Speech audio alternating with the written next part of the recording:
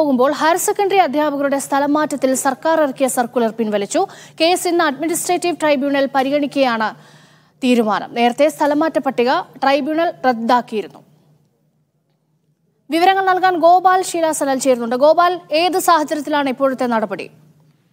ഏകമായി higher secondary അധ്യാപകരുടെ സ്ഥലം മാറ്റം ഏറെ നാളുകളായി തന്നെ വലിയ ആ, വിവാദത്തിലും കുരുക്കിലും നിൽക്കുകയാണ്.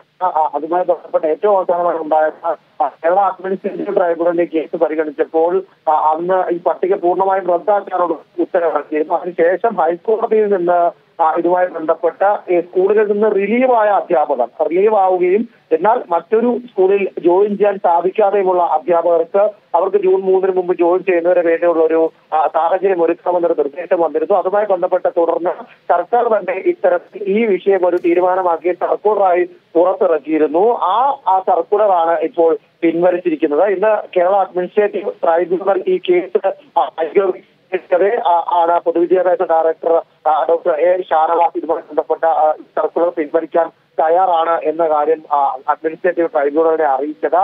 ഈ സർക്കുലർ പിൻവലിച്ചതിന് ശേഷം ഇനി എന്താണ് തുടർ നടപടി എന്നതാണ് കണ്ടറിയേണ്ടത്. കാരണം അടുത്ത അധ്യയന വർഷം ആരംഭിക്കാറായി. നിരവധി അധ്യാപകരുടെ സ്ഥലമാറ്റം എപ്പോഴും തുലാസിലാണ് നേരത്തെ സൂചിപ്പിച്ചതുപോലെ പല അധ്യാപകരും സ്വന്തം സ്കൂളിൽ നിന്ന് റിലീവ് ചെയ്യുകയും മറ്റ് സ്കൂളുകളിൽ നിയമനം നേടാൻ അല്ലെങ്കിൽ ജോയിൻ ചെയ്യാൻ സാധിക്കാതെ ഇരിക്കുന്ന ഒരു സ്ഥിതിയാണുള്ളത്. അതുകൊണ്ട് തന്നെ സർക്കാരിനെ സംബന്ധിച്ചിടത്തോളം ഈ പ്രശ്ന പരിഹാരം ഒരു കീറാമുട്ടയായി തന്നെ തുടരുകയാണ്.